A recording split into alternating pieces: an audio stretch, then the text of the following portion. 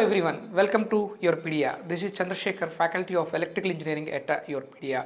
So this video is helpful for the people who are aspiring to prepare for HPCL examination. So you all know that recently, recently HPCL announced uh, a notification without gate uh, in branches like instrumentation, electrical and mechanical and in these branches. There are some other branches also, so primarily. Yes, so this video is about the preparation strategy and uh, uh, I can say like analysis of the syllabus uh, regarding to HPCL electrical paper regarding to electrical paper. See a few points I want to uh, disclose with you at this point of time about HPCL examination. See HPCL examination question paper is very very easy when compared to any other examination paper okay but the main point here when you are preparing for HPCL you have to remember is HPCL is covering the areas where this gate and other exams are not covering. For example, if you take a subject like network analysis, in subject like network analysis, the concept of uh, self-inductance, mutual inductance, uh, uh, those formulas, we we rarely or we will we will study. See, students generally will study that, but that is not that important for gate examination. Whereas in HPCL previous papers, one or two questions, more than two questions has been appeared in single paper from that area okay self induction mutual induction paper uh, concept right? So the point what we have to understand here is uh, the HPCL examination is not the examination which is going to test your depth whereas it is the examination which is going to test your width. Yes? So uh, when we talk about the syllabus of HPCL examination see syllabus this is the syllabus he mentioned. Mostly all the questions are from the mentioned syllabus only in electrical paper yeah he is not going beyond the uh, syllabus he mentioned. But there are some questions from material science. Not exactly from material science. Uh, i can say like uh, suppose uh, in uh, electrical machines we are using we are uh, there is a concept called transformer. In transformer we are using uh, i can say like some materials right? So he may ask a question on the concept of that material conductivity or I can say like uh, susceptibility or I can say like uh, permittivity or permeability.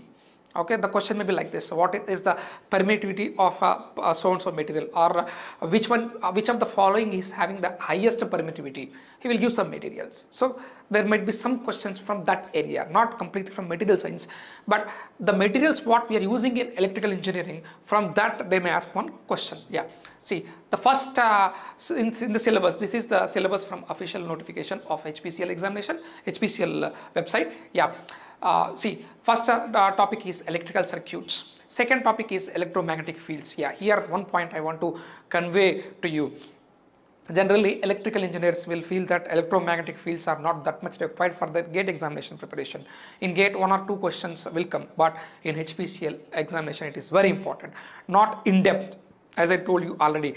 He may ask you the statement of Gauss law he will use statement of Gauss law then he will mention the above statement uh, belongs to which of the following Gauss law right? So like that and uh, uh, ampere circuit law states what? What uh, uh, is the outcome of ampere circuit laws? This way questions. Direct question okay?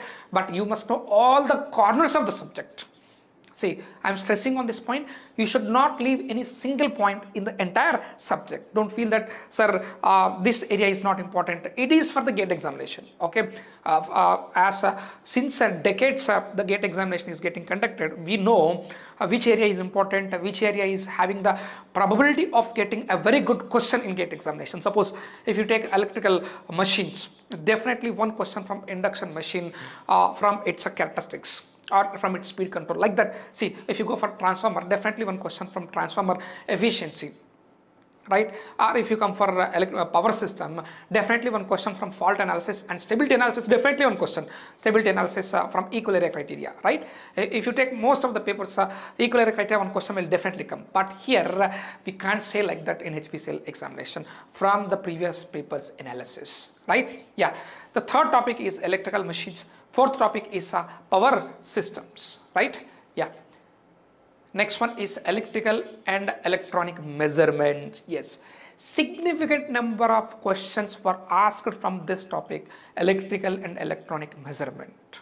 okay significant number of questions in fact uh, the good problems means uh, I, I won't say difficult problems the problems where you have to at least you have to apply the brain have been given previously from electrical and electronic measurements paper uh, subject network analysis uh, simple questions only where just uh, the net, from network analysis the question has been asked from the concept of kvl kcl kvl kcl uh, voltage division and current division if you verify the previous papers mostly right and uh, power electronics. In power electronics, uh, the important areas for gate examination, the first chapter where uh, you are going to study the basics of all the devices like triac, diac, GTO, all these things. that is not important for gate examination. Okay, SCR basics like uh, theory of SCR, okay, and uh, snubber circuit. Snubber circuit. All these are not that much important for gate examination.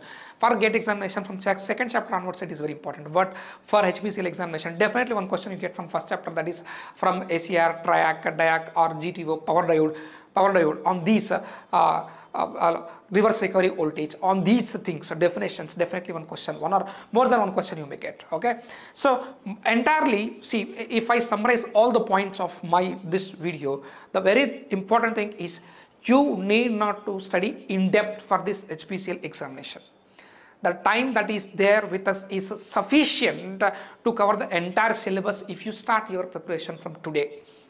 And you all are equally eligible or you, you all are equally having the probability of getting selected for this HPCL examination. Why? Because it is not the examination of uh, testing your, uh, I can say like uh, depth of the concept. It is going to test only the width of the concept like uh, you, have you covered total portion which has been mentioned by the this uh, uh, notification or not that is only important all the questions 85 out of 85 questions are technical.